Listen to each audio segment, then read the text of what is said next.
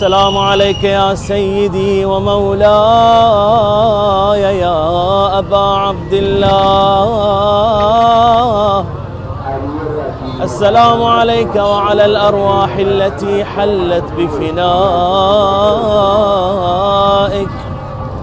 عليكم مني جميعا سلام الله أبدا ما بقيت وبقي الليل والنهار.